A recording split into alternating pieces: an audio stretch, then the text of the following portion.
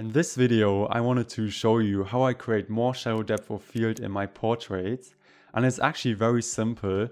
And here we have a portrait of Marina. We've done this photo at the Lenkwerk in Bielefeld, which is very famous for like exhibition centers.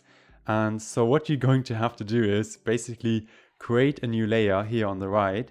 And up here you have filter and then you have blur here and then you press on Gaussian blur and now your whole image is blurred out but that's no problem. So next uh, you have the option. When you slide it to the right it's more blurred out. And when you go to the left it's less blurred out. So we're going to choose around 39 that's good. Press on ok. So next we're going to create another mask here down here.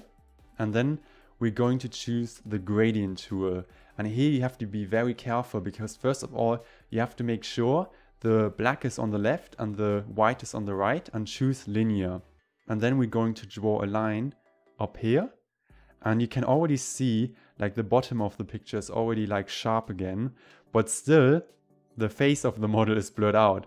So next you're going to choose the brush tool and you're going to go gently over the model's face and you can erase all the blur here and make it very gently because you want to do it correct because sometimes uh, when you do it incorrectly you still have blur on the model. And next we're also going to go to the legs and erase all the blur here and we're getting closer to the result and a bit more here and you can really spend a lot of time doing it but I'm just going to show you how I do it very quick.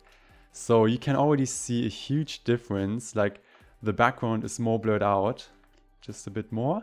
So I hope you enjoyed this tutorial and I also hope this tip helped you for your portraits. And if you want to see more photoshoot tutorials like this, you can subscribe to my channel to be always up to date. And thank you again so much for watching and also thank you to the model. And guys, take care of yourself and see you next time. Bye.